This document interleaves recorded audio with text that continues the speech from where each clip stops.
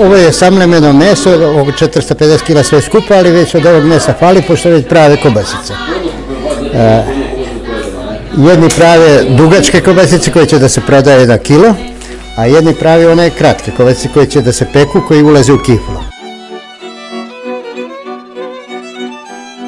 Koliko će biti ovaj kobas, dugačke, to ćemo mi da odlučimo.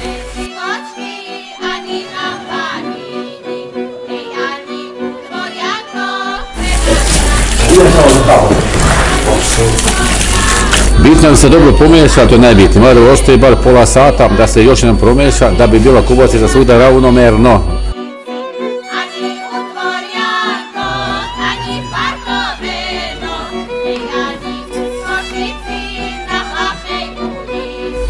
Malo pre si rekao da su sastavci kod svih manje više isti, ali ono što ja sad snimam, zamaglit ćemo brojeve.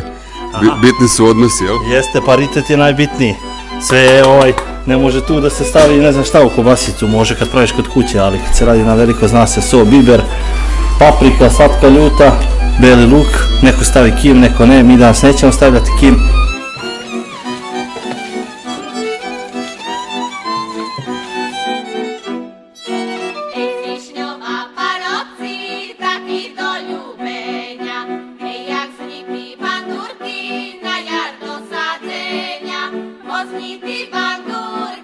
Gronik, džigerica i kuvana krv. To je doručak. A za ručak će biti dva velika kazana paprikaša, svinjskog paprikaša.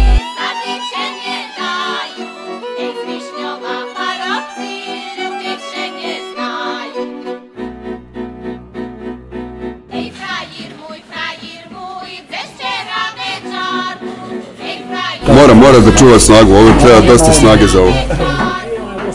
Ovo je sad već sam finish, znači nemamo šta, spremimo sale, što kaže opeglamo košulje. i